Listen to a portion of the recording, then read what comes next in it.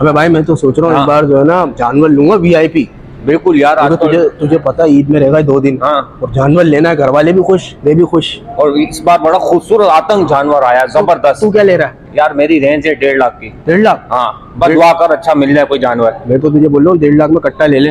अबे मैं अरे क्या? क्या हाल है भाईजान खरीद से। अबे कहाँ जाने का प्रोग्राम बन रहा है? मंडी, मंडी। अच्छा वो सही टाइम पे आगा चलो मंडी चलो। अबे नहीं यार क्यों? मंडी में नहीं जाऊँगा। क्यों? मंडी बहुत चढ़ी हुई है अभी।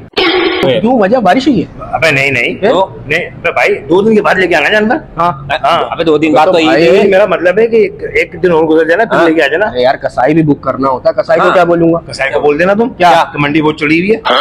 लेट लेंगे। और आगे घर तो- पे भाभी को क्या बोलूँगा? हाँ। अबे यार सबको मैं जाके बोलूँगा भाभी को तो प्यार से समझा देना। क्या? मंडी बहुत चढ़ी हुई है। अब अबे तेरी भाभी वो भी बोल रही है कि जानू तुम कब ला रहे हो जानवर? अपना जानवर तो दिखाओ वो भी लेके आ गई है।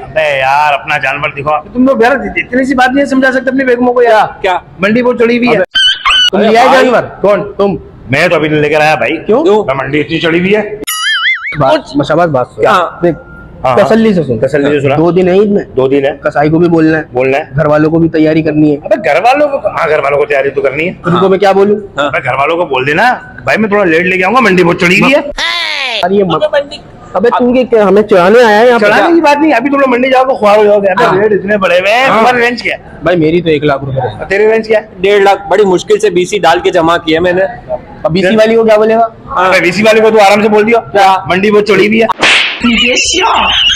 एक लाख रुपए। हाँ। एक लाख में तो जानवर आएगा ही नहीं। क्यों? मंडी बहुत चढ़ी हुई है। तुम लोग मेरी बात समझ नहीं रहे यार क्या? अबे यार ओ भाई भाई बात सुनिए जरा। अबे जरा। कहाँ जा रहे हो मैं मंडी जा रहा हूँ। मंडी मत जाइयो। क्यों भाई? मंडी बहुत चढ़ी हुई है। अच्छा छोड़ो रुको। हाँ। गरक करो मंडी। हाँ। इधर आ भाई थोड़ा क्या? केएफसी चलो। केएफसी हाँ। कौन जा रहा है? हम लोग जाएँगे खाना खाने। पहली बात है केएफसी का हम लोग पाकिस्तानियों ने बाइकाट हाँ। और मैं फिर भी वैसे भी केएफसी नहीं जाऊँगा। क्यों? केएफसी के रेट बहुत चढ़े हुए हैं।